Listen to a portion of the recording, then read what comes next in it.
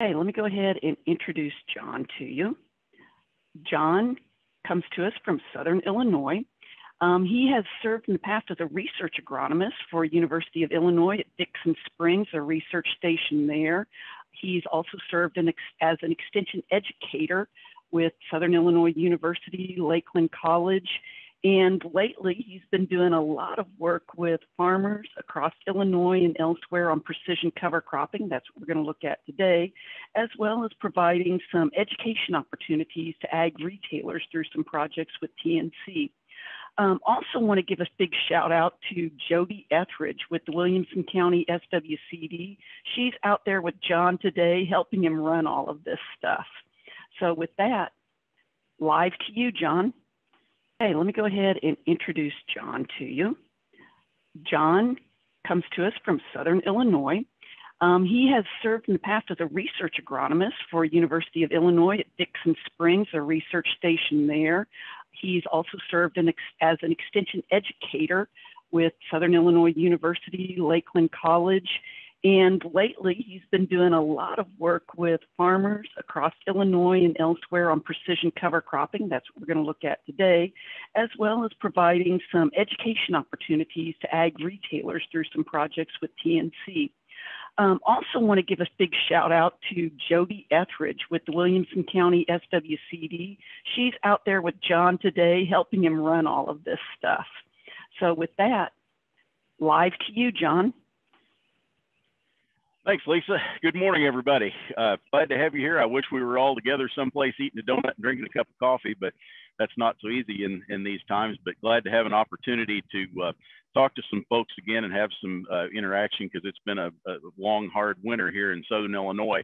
Uh, we're located uh, just south of, of Marion, Illinois, which is about an hour south of I-64. We're about an hour in 20 minutes or so from from Evansville. For those of you who might not uh, be logistically familiar with the area, but a lot of uh, similarity in the topography and the and the soils and the challenges and uh, things that we uh, encounter here in uh, with Southern Illinois agriculture as a lot of uh, the southern part of, of Indiana.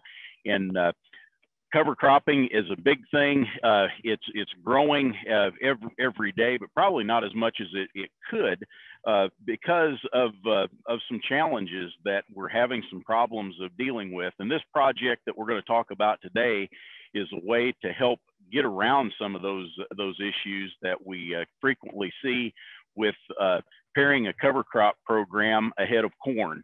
the practice of planting cereal rye after uh, corn and then no-tilling beans into that has been something that has been a pretty standard cover crop practice and widely adopted across the large area of the Midwest for a long time. But um, as we transition the cover crops into into the corn crop, that has uh, presented some problems with uh, with that in, in, the management and the planning of that. And this project is helping us sidestep a, a, little bit of, of that. So what we've got here behind me, uh, we can see the skips in the in the field, and those aren't where uh, drill uh, rows have, have been plugged up, and it, it, was a mistake. We purposely done this. And what, what we've got is the strip is either left bare without a cover crop or in some cases we have uh, cover crop mixes that will winter terminate that will be uh, that will allow us to have a low residue environment to plant our corn into and uh, and get a better a better stand of that easier than what we would normally in a in a solid broadcast system in, in a lot of cases. So we'll look at some of the ins and outs of that and what we've seen with this uh, this research project uh, through the years as we go. So if anybody's got any questions as we go, Lisa explained uh, how to get those those questions in. We'll have some time built into the middle of the program to specifically get into things a little bit deeper, but uh, Joe and others will be helping out to get some of those in. So if we do have questions, please uh, please please feel free. What the way we manage this to get this cover crop established is that we've paired this cover crop system with a lot of the ideas uh, surrounding the early planted, early maturing uh, bean varieties that is becoming more popular uh, in the last few years, where we're planting beans early uh, we're, we're, able to get the bean harvest done early, and that allows a wider window to establish our, our cover crops. And that's one thing that is critical for success in planting a cover crop or making it easier uh, to uh, to transition that that uh, that cover crop into a corn crop the following year. So we planted a, a relatively early bean, relatively early in the in the season last year, harvested that uh, in the uh, last fall. Uh, our bean harvest here was about the 10th or 12th of, um, of September. Uh, and those early early beans made about 55 bushels to the acre, so that was pretty good, uh, pretty good yield for for this area. I feel like I left too much on the on the table with the bean variety selection, but what we did gain was the ability to have that wider window of uh, opportunity to get a cover crop established, uh, to have a better, a more diverse cover crop going in to the corn crop that we'll plant behind it this this spring. So I think that's a big key. Wider the that we have to establish the cover crop, the more options that we have. Because if we think about a lot of the establishing corn in a cover crop, if we don't get bean harvested until late, let's say the end of October into into November, uh, some of the only uh, good options that we have to really establish a cover crop that's going to make it through the winter is cereal rye. Cereal rye is a great uh, cover crop in the fact that it will control erosion and it can do a lot to build the soil. But the problems that we get into with uh, nitrogen and uh, some of the carbon nitrogen ratio uh, problems that, that tie up nitrogen and how that affects the corn crop that we plant into are, are critical. So what we've done here by having the wider window of uh, opportunity to get the cover crop growing, we've got a, a wider window to establish a more diverse cover crop. So what we've done here is that we've got uh, uh, hairy vetch and crimson clover that is planted in the in these in these mixes. In some cases, uh, where the, in this uh, strip that I'm in here now, where the rows uh, kind of look uh, bare in between, those have left purposely blank. Other cases, we we planted uh, radish and uh, and oats into those strips that will that are that are dying out and we'll plant into later on. So that kind of gives an overview about what we're what we're thinking and how we get in how we get into this uh, frame of mind for this uh, cover crop uh, project. And we'll talk a little bit now about some of the background with that and some of the details with that. So Jessica, if you could bring up the, the slides, we'll show, uh, show some pictures here. Okay, and in the, in the first picture, what we've got is a is a very nice field of, of hairy vetch, uh, solid seeded.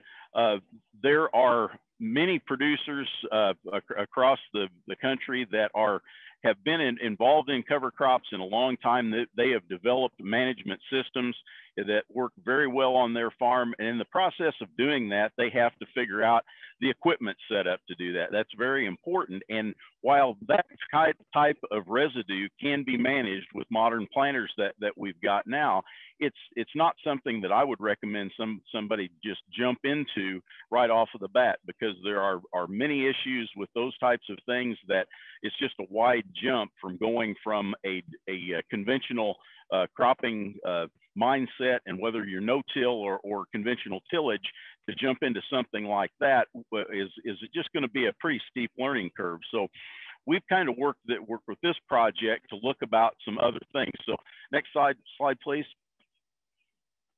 And what, what we've got here is that we've we initiated this uh, cover crop project uh, about six years ago now through a producer SARE grant uh, uh, with uh, a farmer named Junior Upton that's in Hamilton County, uh, just north of uh, McLeansboro, just a little bit south of, of I-64, that had been a long time uh, cover crop manager and very successful in some of his operations and what he had learned and, and been very uh, active in participating in research projects and different things with a lot of the extension educators and university folks uh, in Southern Illinois through the years. So he came to me with this idea that uh, he, he thought that with the successes that he was seeing with cover crops in both yields and, and uh, the changes to his soils and the reduction in erosion, that he felt that if we could come up with a way to have cover crops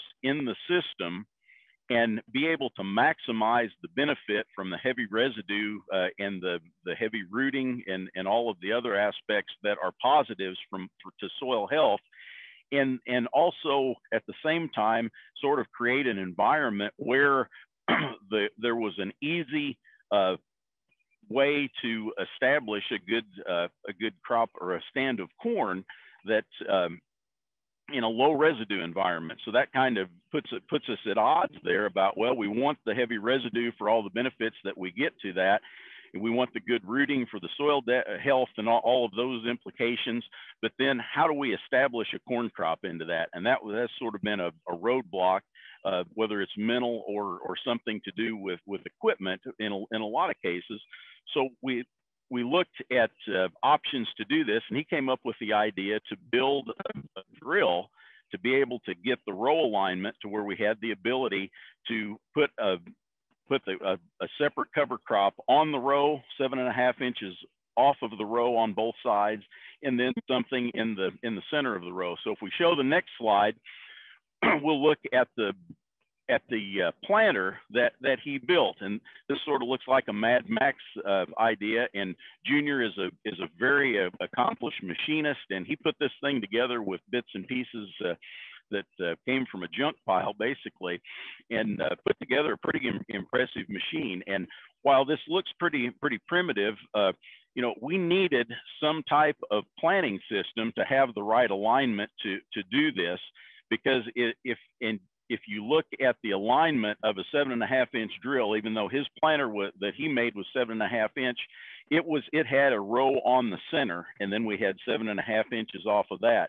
If you look at a basic seven and a half inch uh, spacing uh, regular wheat drill, that is the center is in between, so it's centered on there. So we're not we don't get just exactly the right alignment to do something like that. So he put together this planter with the alignment to where we had separate calibrations and things where we could put a cover crop on the row, seven and a half inches off of the row, something in, in the in the middle, so we could manage that residue more more effectively.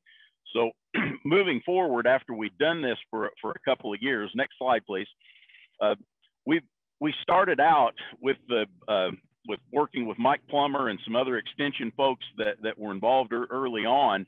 And we wanted to have a uh, do this on a small plot uh, system to where we had randomization and things just like we would do like like I was when we were at the uh, the, the research farm with U of I at, at Dixon Springs. We wanted to start this at, from the basics and are in a randomized block plot to where we would have the, the, the data that was applicable and comparable to other uh, other systems that were being looked at, uh, you know, in, in similar research environments. So we, we had a randomized block plot design. And after we'd done that for four or five years, uh, we've seen the benefits of, this. And uh, the, the project was so interesting that even though the, the original SARE funding to that, uh, that started this to help uh, pay for the, the building of the planter, uh, Junior and I continued to work on on this just just on our own because we were seeing things that were that were very interesting. And it was kind of a fun thing to to look at, but we're to the point now where I think we see a lot of benefits in this. And I think if we can incorporate this in no-till environments uh, or with a strip-till system, there, there's some good opportunities here to work, especially when we think about the uh, the acres of early planted beans and how that Im impacts the the bean harvest potentially for a lot of producers uh, to help widen that window of, of application and to get a more diverse cover crop in there. That something like this will really help some folks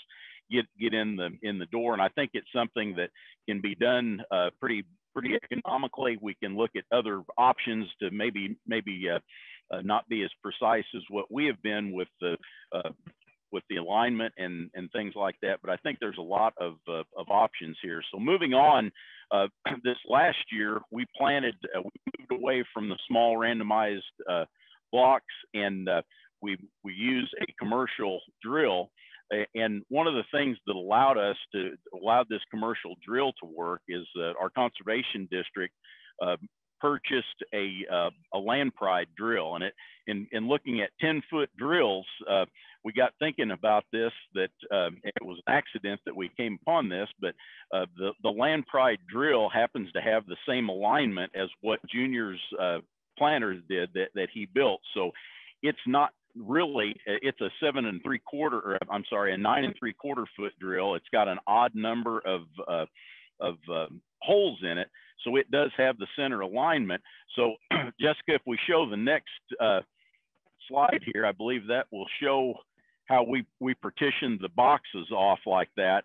So we, we, uh, we've got things lined up to where the cover crop that was gonna be in the middle of the row, on the row, and to the side of the row were uh, partitioned off in that. So that drill gave us the ability to uh, do what we had done with Junior's specialty uh, pro project. And I think now that we can see that not everybody's going to want to do it with a with a 10 foot drill, no no doubt, but we have figured out a way that we can we can adapt this and make this work with uh, with a, a, standard grain drill and and get pretty much the the same results here. So the next shot then will show us the picture of the uh, of the plot as it was planted that shows the that's the last year that we uh, we planted the uh, randomized uh, block block plots, but we uh, that that shows the sort of the basic layout of the of the plot there. So with that, we'll kind of look at some of the uh, the changes that we're that we're seeing in in soils. And Jody, if you'd take the camera here, we'll walk over and we'll we'll look at some of the uh, changes to the soils and the impacts that that we're seeing.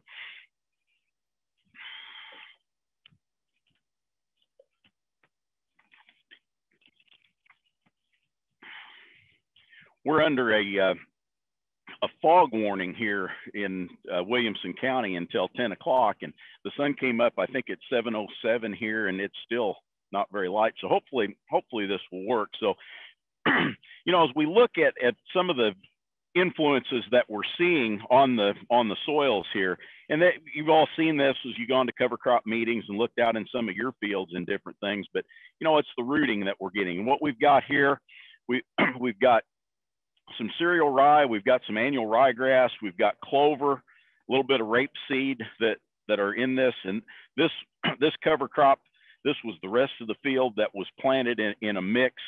About about 10 days. Uh, this was planted about 10 days before. So we'll kind of look at some of the rooting differences here. So if we look at, at what we've got going, we can see those roots there and how that soil just, just crumbled. And we, we've had uh, over four inches of rain here in the last three days.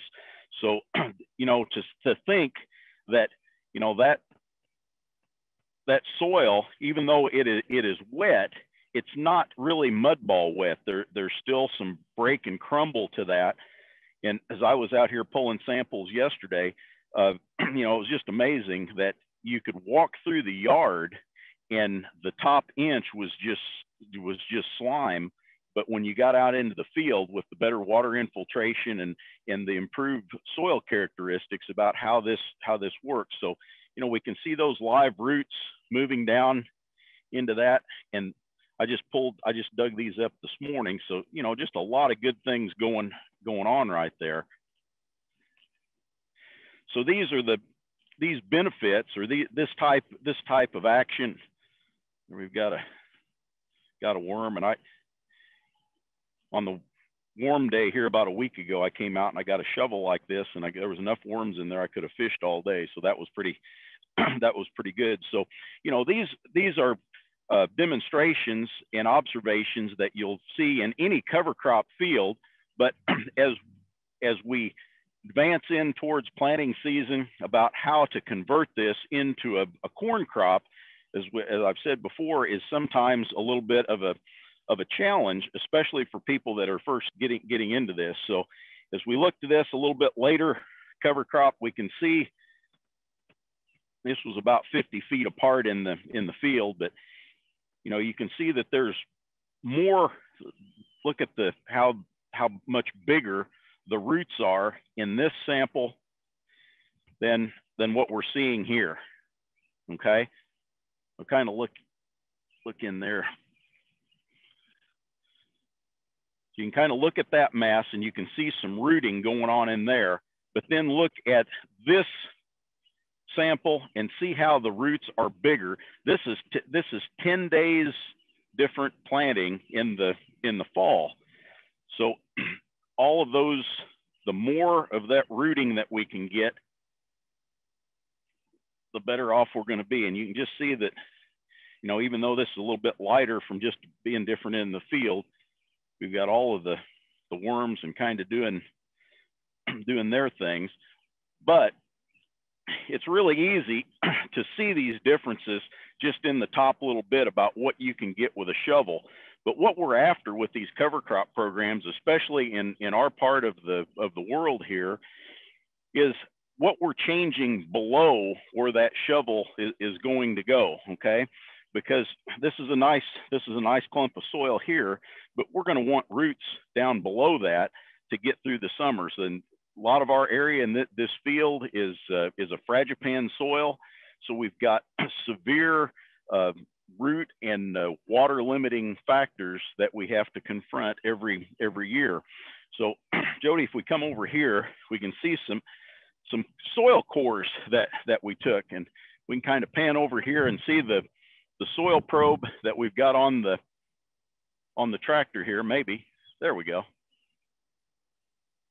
Okay, so what we've what we've got there is a is a soil probe on on the back, and we can take a, a four foot probe with this with this, uh, so we can see what's going on down deeper than, than what we can dig up with a shovel. And I think that's very important if you're involved in any type of cover crop management, uh, whether it's on your farm or you're a consultant that's working with farmers that, that are in cover crop management systems, that it's important to look at what's going on down deeper.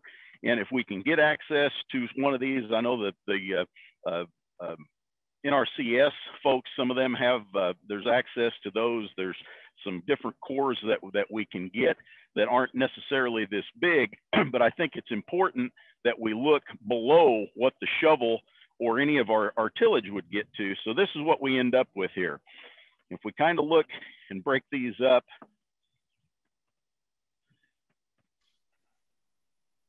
John, for these, I'm Yes. getting just a little bit of chop on my end. So if you could slow down maybe like 20%, I think that would help the hey, I'll Bye. do that. my bandwidth keep up just a little bit, maybe. Hopefully. Hopefully that I'll- helps everybody. I, I will do that. Thank you. Okay. So what what we're what we're dealing with here, we've got samples that were from the field right behind us, and then these these two cores on the back came out of a of a pasture that has never had a crop grown on it. It's been a fescue pasture for the whole for the whole time. And if we can look at some of the differences that that we see here, and we see that okay, the pasture we've got some dark soils up here and we can see that it comes down and we take our knife and we kind of poke around there. We kind of come down here to a point that, whoop, look at there. That there's some resistance right there and you can see the difference. See that, mo that mottling of the gray that comes up to here. And then there's a, a difference from about here on up as we come down and just look at how your knife sticks into that boom right right there is the is the fragipan of the soil okay so if we look about what's going on here we've got the same situation of the soil that we're we had the shovel full just a minute ago and we've got some roots that are going down and there we get to this hard part and we've got a few roots that are coming there. We've got a few more. We had some good fescue in there, but as we get down here all the way to the bottom, you can see what, what we've got there is just soil. There's no roots. Let's see. There isn't anything there. It's pretty hard stuff. You can see how that there's just no no movement of water or any rooting or any anything there. So let's compare that then to the soil cores that we're seeing in the in the cover crop field. And this is not a super long term uh, cover crop field. This is on year eight of the cover crop program, and the first two uh, I would say was pretty moderate with just some cereal rye because I've learned on, on our farming operation, just like everybody else has to do. And I was concerned with managing high residue and how my equipment would work with that and, and being able to terminate it and those, ty- those types of things. So this has been a, what I would consider a pretty customary learning curve on and how the, the soil transition was. So, you know, if we look at the, at the cover crop field here, you know, as we first off, look at the whole at the whole core, and you can see a lot of difference here. The move back here are,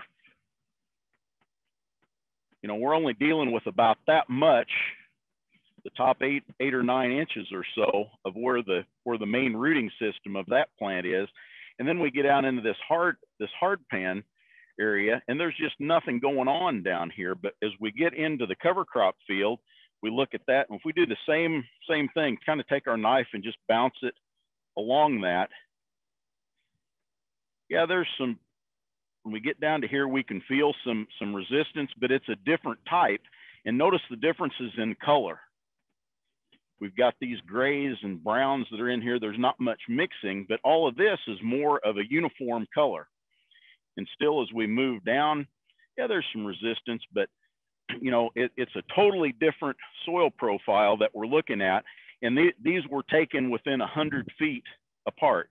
Same, same soil type, everything, but they are not the same soil characteristics. And I think that's important to point out that we're actually making changes. We're just not dealing with the soil that God gave us to grow things on. We're actually making this better. And in this example here, if we kind of start digging off you know, the bottom end of it here. And what do we got? Probably 30, 34 or 36 inches. Look at there, right on the on the bottom, there's a root coming out of the bottom of that. There was no root coming out of the bottom of, of this one. If we break these off, there again, just a little, little bit, we can pick those things out. Is that showing up okay?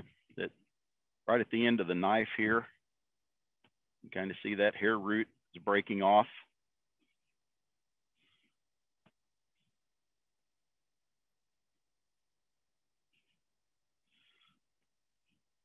There's a good one. So this, I think this this sort of helps show the difference here in, in how we can make soils better. Uh, I know that th this hill has had a hard life. Um, it was grown, uh, we, we have a, a, goose and duck hunting club on this farm. So back in the 70s, 80s, early, early 90s, when when the goose hunting was very good close to Crab Orchard uh, Lake and the and the federal refuge here, there was a, a, lot of this ground was corn on corn for many many years, uh, and then we went and it's been beans on beans. So it's not it's not been the most uh, friendly management system that we've had because we've had other things that, that we were doing. But I, I can't believe how, how the soils have changed in just eight years of this cover crop system here. And we're seeing differences in our, in our corn yields too. Uh, ground, this ground that uh, years ago, if, if, the hills made 120, 130, 40 bushel, that, that's fine. Uh, year before last, uh, in, in a summer that turned off fairly dry, we ended up with 180 bushel corn on, on this field. And there's been other advancements to, to the, that have gone on in the same time. And, but I know that we've put together a system here that, that is, is, is working. So, you know, I think that it's important that if you need to get a backhoe out in a field or find some way to dig down and find out what we're, what is going on below the the surface that you can get with a shovel that is a that is a good thing another important thing to to think about in the in the idea of uh, where are we going with tillage versus no till and all these cover crop systems is that the problems that we've identified at this layer here where the fragipan is in our in our soils you know, we're, we're down 15, 16, 17 inches. We're not going to do anything to this soil from here down with the tillage tool for, with, with any economics in, involved in that. And, but at the same time, we have worked with a cover crop system within, within seven or eight years that's got rooting depth down to 40 and 40 and 50 inches in, in this soil. So I think that's something that's uh, very important to uh, to think about. So with that, we'll move on a little bit. Uh, Joe, is there any questions or anything that we need to cover? We don't have any questions yet, but I did uh, search for your SARE report from the initial start of this study, and I dropped that link into the chat for everybody if they want to see the original SARE article and report for how everybody started out. And um, if you guys have any questions, whether it's something John covered and you missed it, or whether it's something he hasn't yet and you want to hear about it, please do feel free to drop drop that right into the Q and A or into the chat, and we'll go ahead and ask it. Next, we've got uh, we've got a few more slides to go through that'll kind of show you uh, some of some more of the progression of the uh, of the field here. So what we're what we're seeing here is in the our, our check or our control for this for this project was no-till soybeans. So we've done this e each year where we've had the uh, the different planting uh, alignment of the cover crops in relation to the row. Uh, we've had the winter terminated uh, cover crops that were on the row. Some of the treatments uh, just had that had that uh, portion left blank. Excuse me. And for our, our check, we have compared this against uh, just regular uh, no-till into, into soybean stubbles. So we, we've done this in, in two different ways uh, as far as, as management. We normally, when, when we put together a project, the whole plot would be managed uh, as, as one. The only thing that we've done different here is, is that I made sure to manage the, uh, the the control or the the regular no-till cover crop as if we would if it was in that field. So this was an extra a strip along the, the side that we left just to have an example of how the winter annual weeds uh, competition is, is uh, impacted by the cover crop. So here we can see mare's tail. We've got the normal uh, henbit and chickweed and things like that. Uh, off to the side to the left, you can see the, uh, the annual ryegrass that we've left to go. But, uh, you know, so this is the kind of uh, weed pressure that, that we're dealing with. But in the project, to make it fair, we managed the, the straight no-till, no cover crop system like we would have if it was the whole field of that. And then on the other treatments, we managed those treatments for late termination uh, and to get all of the cover crop benefits that, that we could. So in, in that respect, we have not given the cover crop any real advantage because we have pushed it to the limits as far as late termination and uh, the, uh, the late planting and, and everything that was involved in, in that. So next, John, look at the next. Yeah, go ahead you've got everybody stirred up here now. Um, and we've got a couple of questions that roll in. I think this is probably where you're headed. Um, but before we get too far off, um, we've got a couple of questions on the on those cores. So, um, what species are penetrating the fragipan? And um, similar question, but maybe a little bit different. What cover crop was used to get roots down that far? I think you had referenced on that last core you had roots down okay. 36 inches or so. Yeah, with the deep uh, with the deep rooting cover crops, that the thing that has made the made the difference is annual ryegrass. And, and annual ryegrass, and it, it's interesting that uh, many many people are probably familiar with the work of Lloyd Murdock at the University of, of Kentucky. He's done tremendous uh, research with uh, annual ryegrass and and figuring out what is in play that that, that allows annual ryegrass to penetrate the fragipan and and annual ryegrass is, is about our only really good option that we've got to be able to do that. And what it, what it's in play is the root exudate of the growing annual ryegrass root will help to break up the chemical bonding that forms the, the fragipan. So uh, that's that's what we're dealing with here. And his uh, Lloyd's uh, research was, was really sparked by uh, research that Mike Plummer had started with on the Junior Upton farm, uh, just uh, you know within a quarter mile of where I'm showing these plot flip pictures.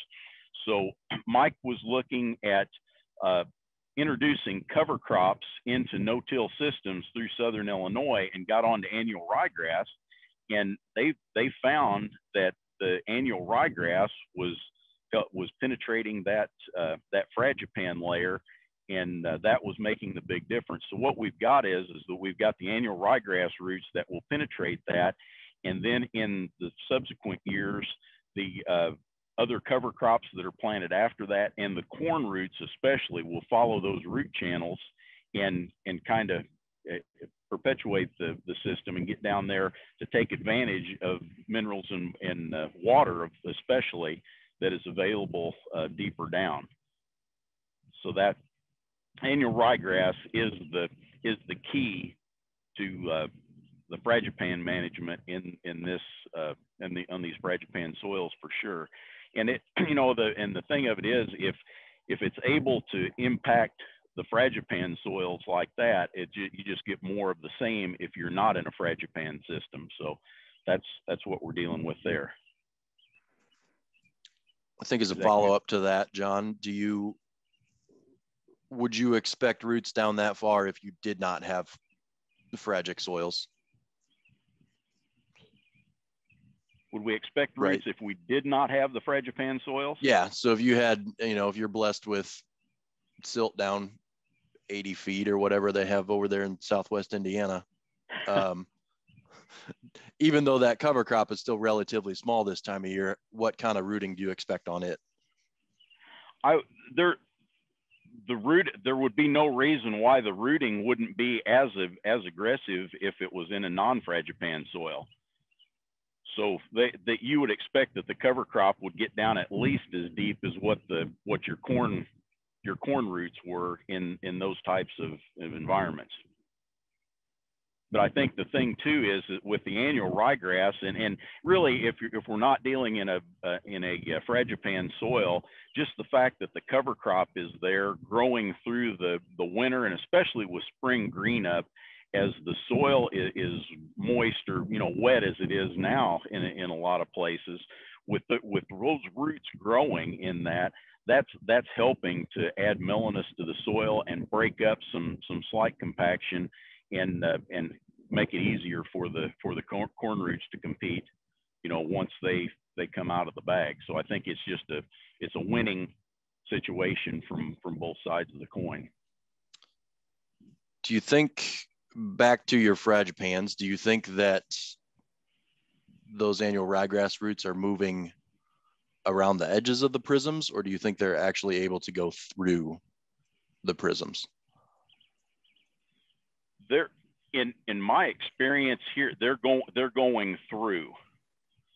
Now I, I I know that the I'm not a soil scientist, but I've worked around a lot of a lot of fields in southern Illinois, and I've been down in Kentucky and seen there. And I think in, in Kentucky, they're they're dealing with a little bit probably a harder fragipan, or there's differences, especially if you get over there on the other side of Kentucky Lake in those red clays and things. Uh, they're it's not exactly like what we're seeing here, but it's it's definitely growing through it, and that's that's what Dr. Murdock has found in in his research, and he's done work to is- try to isolate the um, the actual compounds in the exudates that are that are helping to uh, to do this. So it's pretty amazing what we're getting to what we're seeing with this and, and, and having annual ryegrass in these in these mixes. And you know, there again, there with it seems like anything that is, is a help. There's also uh, some different uh, management systems, and it, it's not like being. Uh, it's not unlike buying a new corn planter. When you buy a new corn planter, it's got the ability to do a lot of things, but you have to set that for each field and each environment that, that you go to. So adjustments need to be made. And with annual ryegrass, uh, I, it's, it's commonly uh, referred to that, that um, you know, there, there are different, and I will call them challenges, but I'd say that they're management considerations in how you deal with that with that species. So termination can is is different. We need to we need to observe more of our common sense uh, uh, spray tactics to do this because when you've got a plant like annual ryegrass that isn't too uh, big and uh, ominous from the top side, it has a tremendous rooting capacity. So if we're dealing with something that we're going to control, especially with glyphosate, where we've got a limited amount of top growth and we've got a tremendous amount of rooting that where we need to translocate that that herbicide within that plant, uh, we need to uh, have a management strategy to be able to do that. And managing annual ryegrass from a termination standpoint is different than many of our other cover crops. But as long as we're, we're spraying when it's a little bit warmer, we're treating our water to make sure that we've got our, our water uh, solution to where it doesn't tie up any of the glyphosate. So we're getting 100% of that into the plant and we're using full rates of, you know, glyphosate can uh, uh, control annual ryegrass very, very effectively. And uh, I've, I've tried to make mistakes with it, and you sure can. But as long as you've got a a, a plan going into the uh, to the issue, you know, it's not anything that is uh, that can't be dealt with pretty effectively. And another thing, if we've got a, a cover crop that is that has the ability to provide those types of benefits, uh, I think it's uh, in our interest to figure out how to manage that effectively to get those those benefits. So I hope that helped to cover that. Yeah, it did. Thank you very much. Um, we have a couple others here, but I think they're probably more along the lines of where you're headed. So um, we can probably go back on track. One, uh, one's about want to know about your planter setup, and one's um, want to know some of the differences you see with precision cover crops versus random covers. So better stand, better yields, etc. Um, hey, what do you see with that? So yeah, I think we'll I think we'll we might hit on that as as we go, but if That's not, uh, bring bring me back in uh, late, later on, and we'll we'll do that. But in the in the last uh, in the last slide that that we looked at, where we showed the the winter annual competition in the uh, where the uh, non-cover crop treatments with or, or our control. Now we now we there we go. So that's what we were dealing with, you know, if, if we wouldn't have had any early burn down with that. And then the next slide, it will, it shows that the clean row environment there where we're planting into. And you can see that we've allowed the, the annual ryegrass cereal rye mix with hairy vetch in this case to grow on either side of the row. But then we've got a relatively clean uh, space in, in, between this. And I think hairy vetch is, is another one too that uh, as far as cover crops go, it can provide a lot of benefits. It, it has the ability to uh, supply a lot of nitrogen for the corn. It, the rooting uh, characteristics of, of hairy vetch really add a lot of tilth to the soil, give a lot of good mellowness to it. It's not a deep rooting cover crop like, like annual ryegrass is, but it does a lot of good in a, in a mix, but it can uh, present us with some problems as far as wrapping and uh, just management issues about how to plant into that effectively uh, as we um, as we work into that. So what we found that's kind of, kind of fell into this is that with the with the row of annual ryegrass and cereal rye in the middle of the of the uh, corn row, that kind of works as a trellis system. So it's helped to take some of the direction of the growth of the hairy vetch into the middles of the row and we're planting into it with without the wrapping problems here. But you know in this this picture we're just looking at the weed free row. So even though we don't have any cover crops in that particular uh, row zone right there just the uh, the competition from the cover crop seven and a half inches away on each side of that row has has helped out a, a lot. So we'll look at the next move on to the next now. Okay, this shows our uh, where we have the winter termination, uh, uh, terminated cover crops here. We show the radish and there's some oats in, in there too. Uh, on the on the left, that's the fall picture. And then on the on the right, you can see where that uh, winter termination has taken place. And we've got that clean row down into the uh, middle of the of the crimson clover there. And crimson clover is another uh, cover crop as far as uh, nitrogen uh, additive to the to the soil and and helps with a lot of things. And besides that, it makes a pretty uh, uh, pretty picture. So we we we lucked into that. So okay, we'll move on to the next, please. Yeah, and this this just shows the, a better picture of what our what our plant as we're getting closer to planting. And you can see in in this case our cereal rye uh, in the in the centers of the row, and there is annual ryegrass planted in the in the centers too. Uh, kind of add some you know some row structure to there, and uh, it's worked out good for our plot planning because I don't have to worry about any guidance because I've got those nice rows that I put a put a wheel on and one right in the center of the tractor, and then the the planter runs runs right down through that. So the next slide will show us conditions that we planted in into. And again, that this is probably a little bit later than than what we would plant into in in a lot of cases, but we have we have purposely tried to uh, uh, put the cover crop to the test in every case in in this case. So uh, nobody could say yeah but. So i think that you know we put the cover crop to every disadvantage that we can in this in this case to try to help to prove the system. And then we've also managed the other side uh, like it would be in our in our controls. Okay in the next couple slides we'll show the the hairy vetch plots.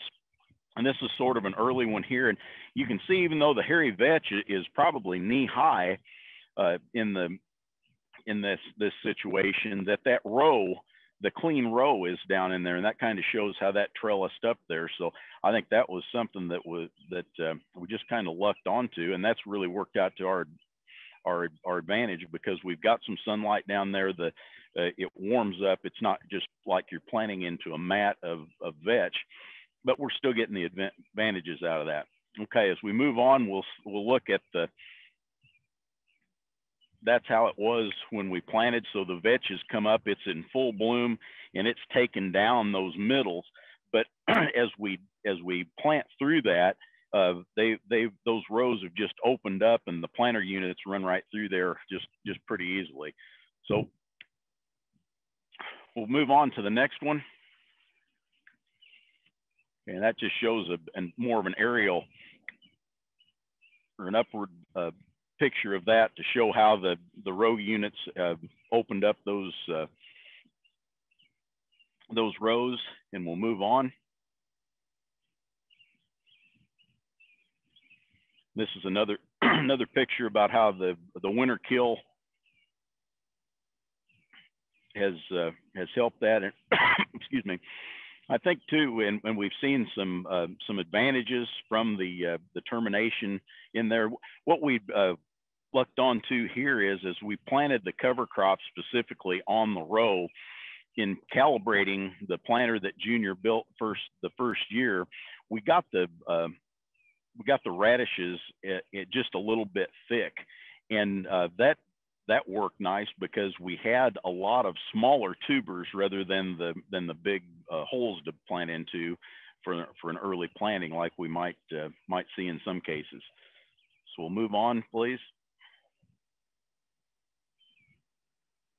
and this this shows after the after the planter has gone through and it's just a great planting in, environment and what what we have found is is that the the cover crops especially if we're in a, a, a wet spring that having the cover crop planted on each side of that row will help dry out that that row environment a little bit so we we've been able to plant this cover crop plot in wetter conditions when we wouldn't have been out in a in a fully broadcasted uh, solid seeded in, environment uh, in the in the same uh, neighborhood.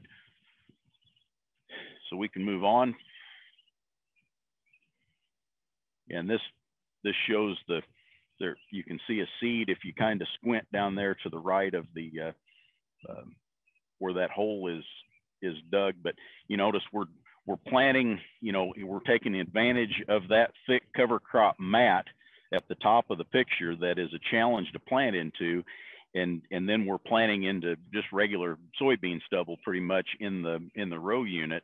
And and uh, the nice thing about this is is that really about any planter could plant into this system. Uh, most of our modern uh, planters that that uh, that are coming out. You know, we've got down pressure, we've got tremendous technology as far as seed drop and depth control and those types of things. And when you're planting into this clean row and environment, uh, you most of our planters are going to have the ability to do this. I'm planning into into this with an older uh, Kinze style uh, Almaco uh, plot planter. It's a four row system. It's not a heavy heavy planter and it does just a great job of getting down uh, in there. So we'll move move on.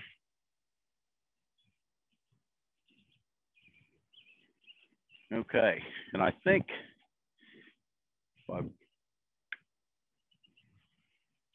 yeah, we'll look at this. This shows the uh, the corn that that we end up with, and I think that pretty good looking corn there.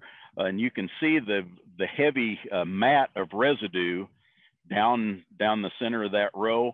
And another thing is is that we're not uh, not really using uh, heavy rates of residual uh, herbicides on this either. That that row mat is is pretty much holding on that. We when we terminated uh, after planting or right at right at planting, th this is this is what we what we end up with. So the next picture will show at harvest and how that held. So that turned out fairly good there. So we'll move on. I think at that point, we've got time for some more questions, Joe. If there is any, and then we'll. We didn't have any new ones come in, but maybe if you want to recap a little bit. Um, so as far as explaining your planter setup, you said you you just have a, a Kinze style plot planter. Yeah, that's what we're that's what we're using to plant. That's what we're using to plant this with. Uh, it's nothing uh, nothing special. I mean, we're uh, I don't have any of the any airbags or anything on this this planter that I'm I've been planting this this plot with. Uh, it's it would be the, the typical Kinze 2000 row units, which would be about a, a John Deere 7000 uh, system. Uh, I do have a coulter on the front of it. I'm not sure that that would be uh, be necessary, and I'm thinking about taking that off. So I think one of the one of the nice things about this type of, of system is is that the most of our farmers have the uh, the auto steer and the, a lot of the precision planting technologies to allow the cover crop to be planted like this. And as long as we get the cover crop planted like this, uh, we have, uh, it, it's just like planting in, into a, a, a no-till soybean system with no, with no cover crop. So I think from that standpoint that this is a good entry level way that we can kind of help to mitigate some of the risk that are commonly associated with going into a no-till system, especially where that those first couple corn years are are uh, concerned, and we can kind of work work through this pretty pretty pretty effectively. When when are you terminating that cover crop? What's We're, your timing been, look like? We've been we've been we've been terminating this at the the couple slides back where I showed that it was the later planting. So we've been we've been planting this purposely a little bit later, and we're terminating at the time of, of planting or just just directly after that. And, the, and again, the, it could be handled a little bit different than that, de depending. Uh, but we we've tried to do this to where we weren't giving any unfair advantage to the cover crop system. So we're pushing it all to the limit. Uh, one of the things that I'm going to try uh, here, the, these these this plot that, that we're in now is a little bit over 600 feet long.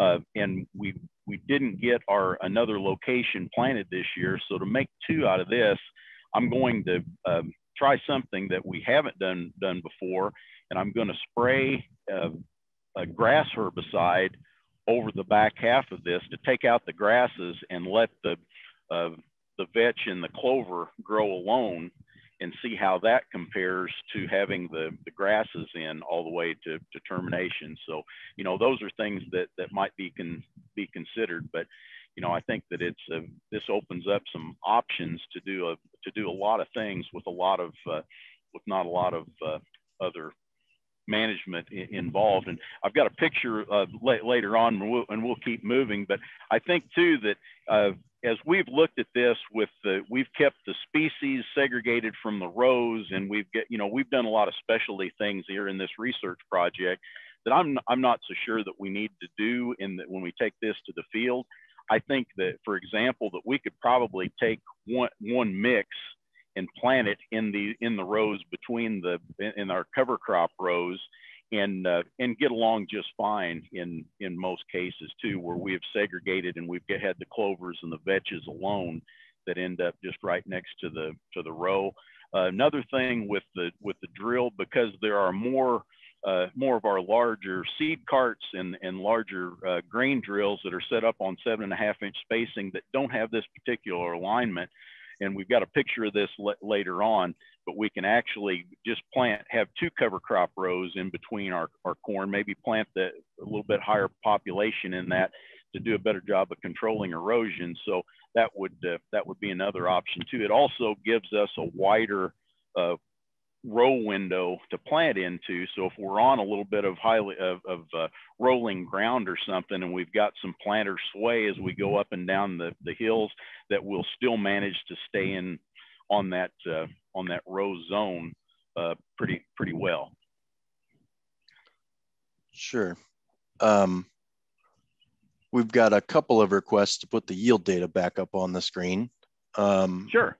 And I think we have a slide there. We are already at our hour. That went extremely fast. I did not realize it was that it was 9:30 already. Well, 9:30 here. but I think, I think we have still got a little bit of time if you want to stick yeah, around with us, John. So. Yeah, I think we can roll through some of these real yield results uh, just really, really quick, and then we can get into into things. I'm sorry I've not moved, moved along good, but I, you know we've got a lot of a lot of stuff to, to talk about, and I would welcome you know to uh, people contact me after this uh, gets done. I'd be be glad to answer uh, questions through you guys or, or emails directly to me or phone calls or whatever it takes. But this, uh, the next couple of slides we have here shows some of the yield results that, that we've had. And uh, this, the, I think the big thing to point out here is, is that you can see the treatment number one there, the yield of, of the check. In every case that we've, we've had this over the, the years of, of the study, any type of mix or the, the alignment of our uh, cover crops has been uh, superior to just the no-till uh, soybean uh, stubble uh, control by, by several bushels. And we've seen as much as 30 bushel in, in some of this. And I wouldn't say that this is a, a guaranteed for every 30 bushel, or, you know, for a 30 bushel increase, but I think we have shown that with proper management that this this system can be as good or better than anything and allow us to get some of these longer term benefits to our cover crops that have kind of been elusive in our in our corn years. So that's 18. If we move on to the next slide, please, that just shows the next slide. And you can see with the exception of a couple of plots that we had some deer damage in, uh, it was the same same scenario there that with the cover crop uh, in the in these uh, various alignments, and we've looked at some different species through the years too, our, our yields are, are better. And so go, go ahead, we can just click through, click through these. And this shows a, a, a summary of what we're doing. And it looks at, at the average of the, excuse me, an average of the chicks, uh, the crimson clover treatment versus the hairy vetch. Uh, and then on the right hand side, we've got some a look at the averages of the winter, winter terminated cover crops over just a, a clean row a little bit advantage to the to the clean row, and then where we put crimson clover on the row. So we can go to the next slide, please. And this shows just what, what we're getting at the Upton farm is the differences in our soil health. This is the basically the same type of soil type there in Hamilton County that what we're dealing with 70 or 80 miles away on, on my farm here. And we see that the lighter colored soil to the bottom, but we've got that good dark uh, topsoil that was developed. And that darker layer of the topsoil is not something that would be inherent to that uh, soil type if it wasn't in a, in a cover crop uh, system. So we'll see what's next there. Yeah, and this, this is another picture. There was a another um, fellow that that uh, was nearby that had a, a 40 foot seed cart and he he aligned he adjusted his rtk system to where he could get the three cover crop rows in between the the rows and did and split a field like that and and saw a 15 bushel uh, difference in the in the cover crop and you think well gosh why why would that be well had some dry dry weather later in the season and that that cover crop in there has just helped to conserve moisture. We pro probably got better water infiltration all the way around. So we'll we'll move on. And this is just another picture where strip till was incorporated with that. I think this is this opens up some options too with the strip tilling as far as how th this system can work better as we move north, especially in, in Illinois as we move into our darker soils that are that are better drained uh, you know, that where we can consistently get in and have an early, uh, you know, to mid-April corn planting.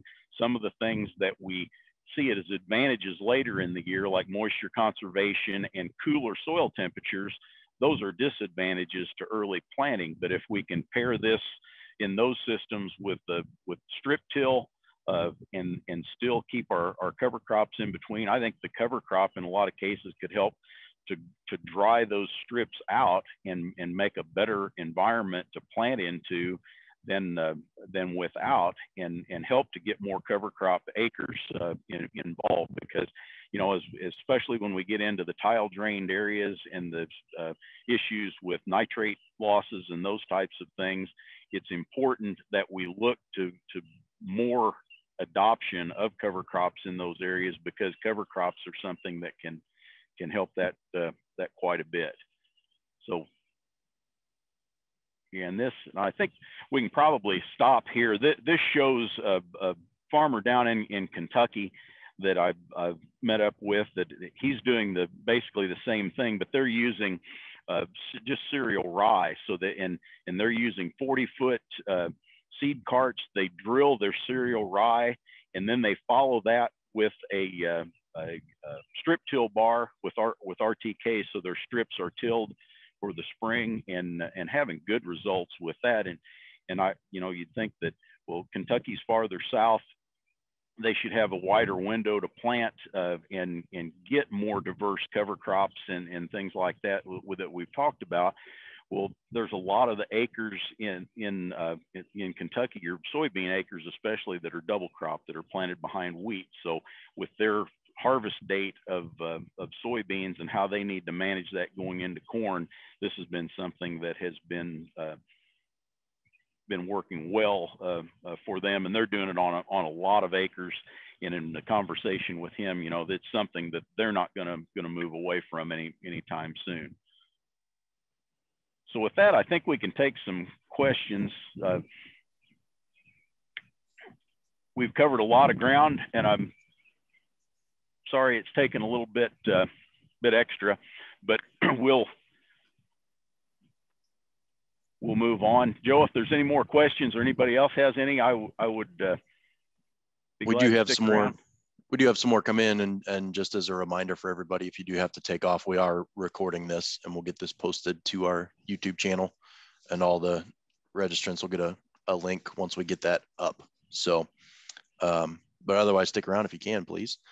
And um, so, John, I saw you've you've talked about that being a hunting club, and you've talked about geese, which are grazers, and you had some deer damage on one of your, uh, I think it was one of your yield layouts there. But other than those grazers, um, do you have any other animals there on the farm? Have you ever tried to terminate a cover crop with grazing? I don't have any here on on my farm. Uh, I, I have a friend and a, a, a cooperator that's in Metropolis, Illinois, that's just right across the river from Paducah, Kentucky, and they they plant a lot of acres of annual ryegrass uh, cover crop, and they graze it pretty much from establishment until the time that they they they're getting ready to take them off now so they can get a little bit of growth on it to plant but they're having tremendous luck with this.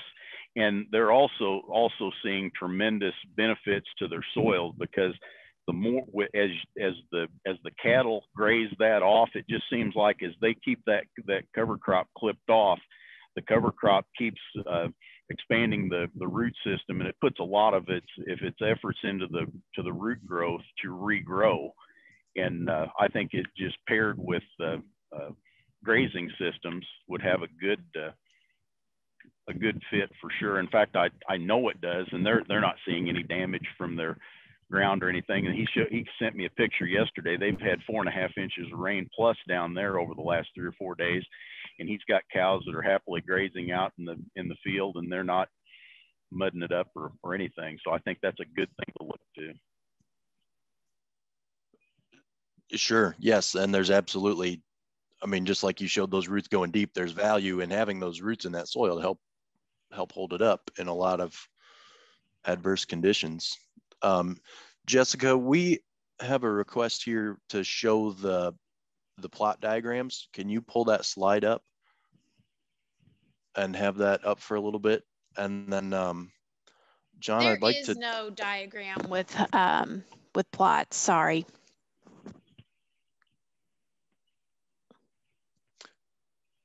Okay, great. Um, I was thinking we showed one maybe Oh, really early. well, let me but- go back and look.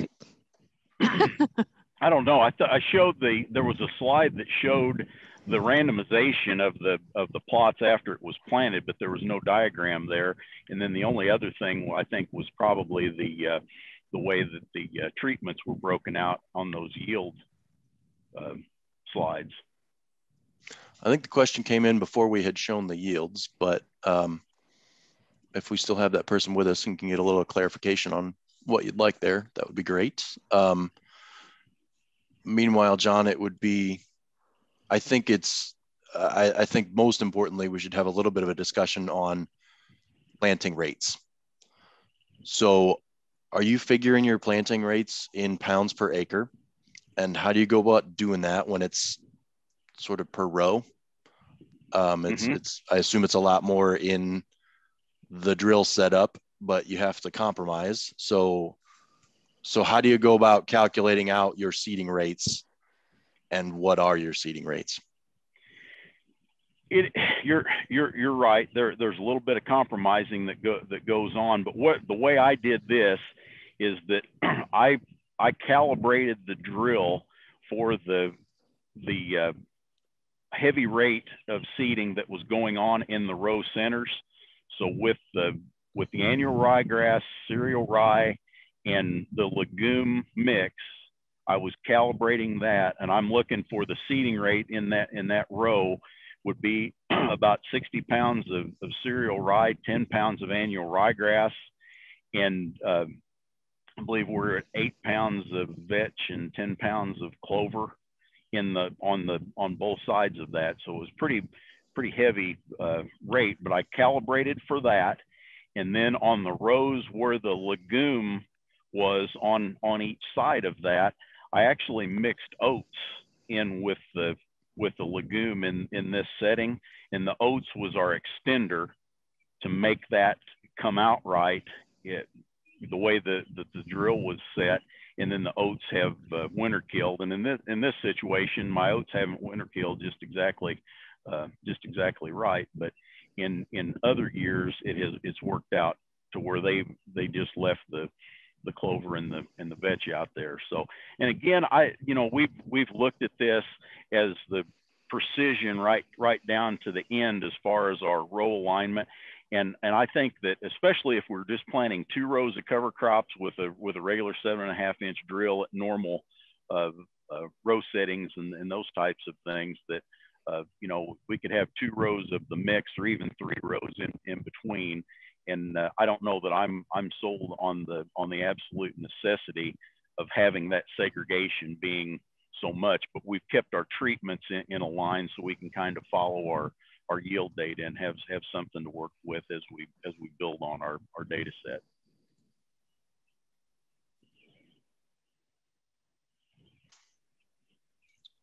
Great, thanks. Um, so it looks like they we would like the chart on what was in the row and on the row.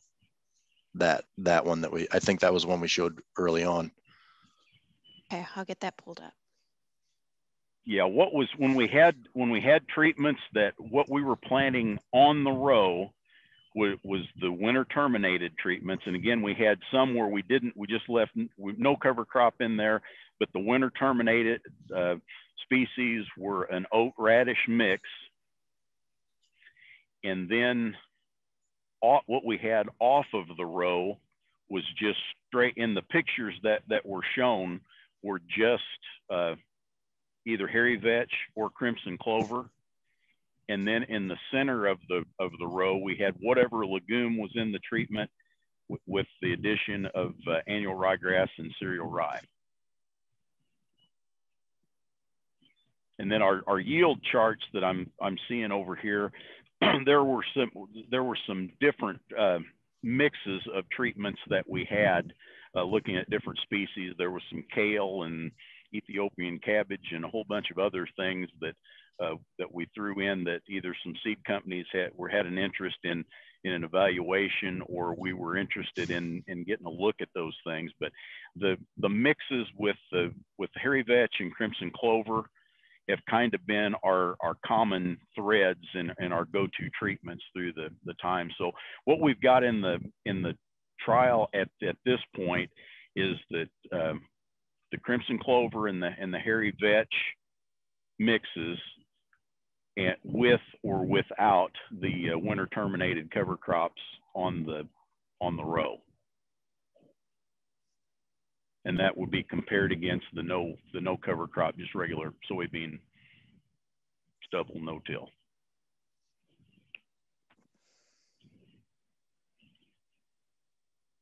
Great, thank you, John.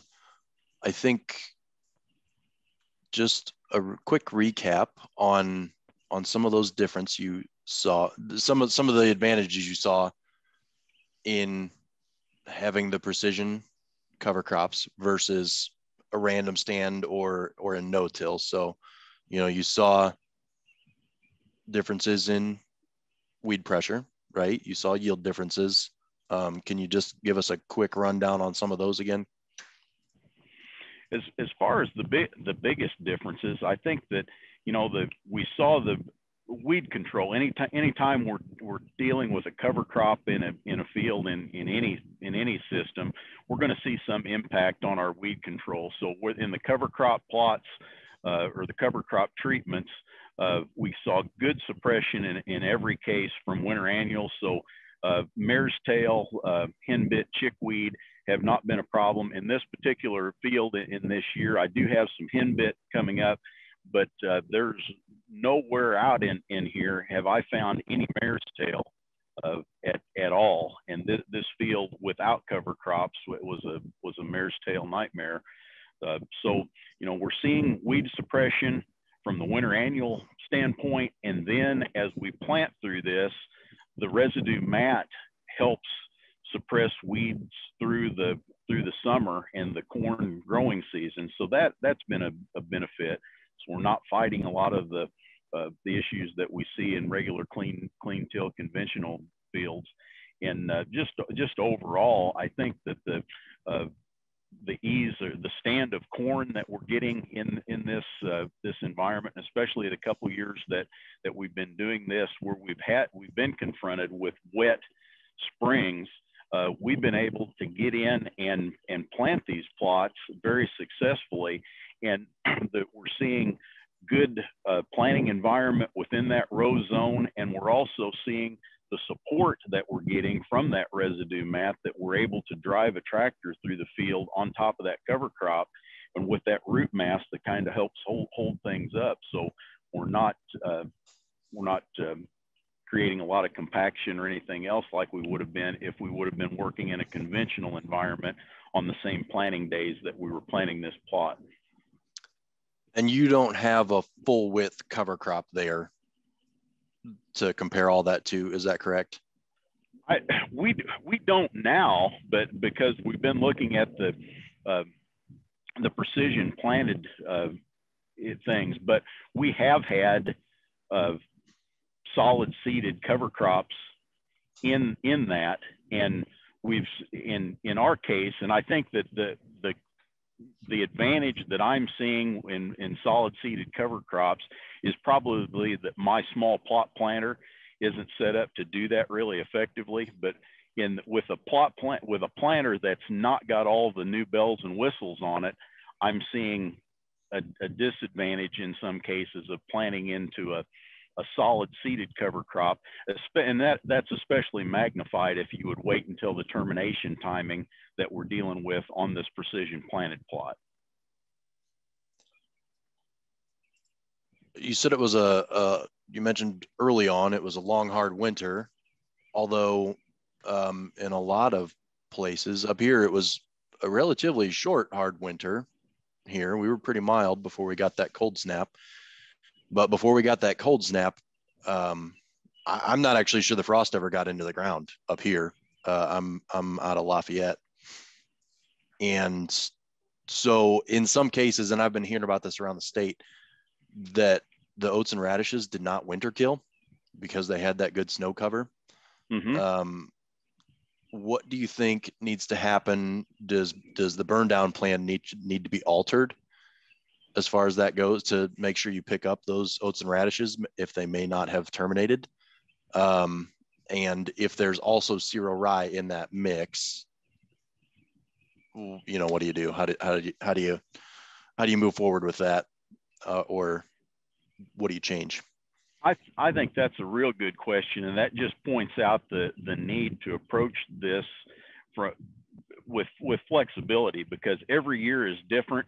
Your planting dates uh, for the cover crop in the in the fall is going to change. The fall weather can have a tremendous impact on the on the cover crop growth. The the winter, you know, every everything that can do that. So I think that you know we need to go into this one and have an idea about what needs to what needs to happen but we always we also need to not be stuck in our on our ways because uh, you know if we think that this year is going to be like next year we're probably going to get into a, a pain in the neck at, at some point to deal with. But you know i think that that look just observing the season is going to be the a big thing. And i think that in in the cases where we've got uh, radishes and oats and things that are growing in our row zone in this particular plot uh, area, you know, we might look at, at, terminating a little bit earlier or planting earlier because where we've been planning, pushing our planting window late just to make it uh, a challenge to the cover crop. If we see that something's going to offset that, you know, too much, we've got the ability to plant earlier in in our system. But yeah, I think we're in a, you know, if I was in a whole field situation where I had uh, radish, especially that was continuing to grow, I would want to look at some strategy to maybe terminate that a little bit earlier than I, I normally would have just to keep those uh, gigantic uh, tuber holes from uh, forming out in the in the field. But th those are things that we've got to just have flexibility for and manage accordingly every year. Looks like we lost your video, um, but we do just have one last question, and then uh, I think we're at our time. But um, have you looked at corn row position relative to the previous soybean row? So do you put the corn row on the old bean row or do you put the corn row between the old bean rows. Okay, in this in this particular situation, that that isn't so much of an issue because we're plant we're we plant the corn cover crop project in like like we've shown today And then we'll come in, in in the fall and we will drill a solid seeded cover crop to go into beans next year. And in both in both locations that we're dealing with, we drill those those beans. So we're going narrow road drilled across that. So it's not like we're planting 30 inch beans uh, through through there. So that's not been a, a situation or a consideration in our particular in, environment here. I think one one thing though that I we haven't talked about that I would like to touch on just just briefly here is the the need for uh, a planter to have a starter uh, some some form of starter nitrogen in, in that anytime we're planting corn and cover crops are involved uh, you know they're the cover crop growing in whatever relation to the row is going to do a good job of sequestering uh, nitrogen. And uh, the corn is going to need a little bit of shot and sometimes we can get that uh, you know if we've got some pop up with an in furrow and we pair that with a, an early uh, side dress or other supplemental nitrogen that's that's great. Uh, but we can uh, you know or if it's a two by two at a bigger shot or something like that, we need to have some plan of, of supplemental early nitrogen in these in these systems. That's a that's a great point, John, and one we see. I mean, as you well know, across almost all of our cover crop systems is is to be ready with some starter nitrogen and some supplemental nitrogen. Um, and and nutrient management is a huge part of cover cropping systems because it's such a different system than what we may be used to. Um, so thank you very much, John. I that is all the questions we have.